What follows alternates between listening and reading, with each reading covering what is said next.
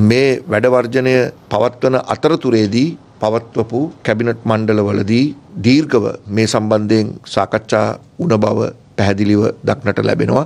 මෙහිදී අවසාන කැබිනට් මණ්ඩල තීරණය දැනුම් දීලා තියෙන්නේ ජනාධිපතිතුමා මේ අනධ්‍යන කාර්ය මණ්ඩලය ඒත් එක්කම රටේ අනෙකුත් කාර්ය මණ්ඩලවල තියෙන වැටුප් සම්බන්ධයෙන් ඇති ගැටලු සොයා බලා කඩිනම් යෝජනා ඊළඟ අයවැයට ඉදිරිපත් කරන්න කියලා මහා භාණ්ඩාගාරයට යොමු කරලා තියෙනවා. මේ වන විට පුවත්පත්වලත් සෑම මාධ්‍යකම පළ වෙනවා. මේ සම්බන්ධයෙන් කමිටුවක් ජනාධිපතිතුමා පත් කරන්න තීරණය කරලා ඒ සම්බන්ධයෙන් කැබිනට් මණ්ඩලයේ අනුමැතිය ලබා දීලා තියෙනවා කියලා. ඒ නිසා විශ්වවිද්‍යාල ප්‍රතිපාදන කොමිෂන් සභාව පවතින මේ ගැටලුව නිරාකරණය කර ගැනීම සඳහා ඒ කමිටුව වෙත සක්‍රියව දායකත්වය ලබා දෙනවා. ඒ නිසා ඒ තුලින් මම ඉල්ලීමක් කරනවා දයාබර අනධ්‍යන කාර්ය මණ්ඩලයට කරුණා කරලා තමන්ගේ රැකිය ස්ථානවලට වාර්තා කරන්න කියලා. මේ සම්බන්ධයෙන් විශ්වවිද්‍යාල වෘතිය සමිති ඒකාබද්ධ කමිටුවේ සමලේකම් ප්‍රසාද් කරුණාරත්න මෙලෙස අදහස් පළ කළා.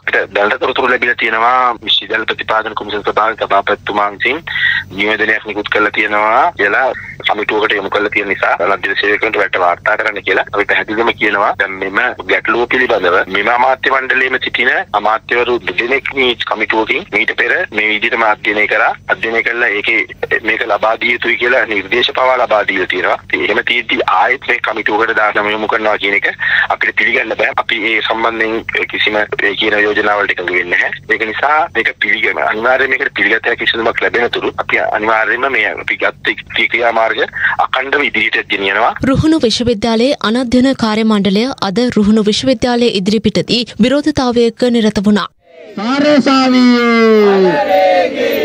සාරසාවියේ සල්ලි කපලා නැති ප්‍රශ්නක් පාලකව තේරුම් ගන්න මොකද අත්දැක කාර්යමණ්ඩලයට ඔබතුමාලා මේ දීමනාවේ අනෙක් කොටස 145ක් වැඩි කරා.